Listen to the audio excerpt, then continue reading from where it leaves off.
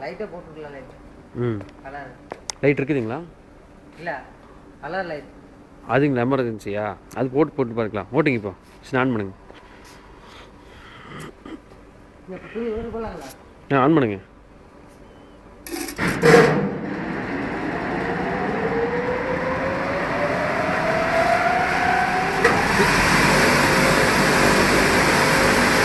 அந்த சைடு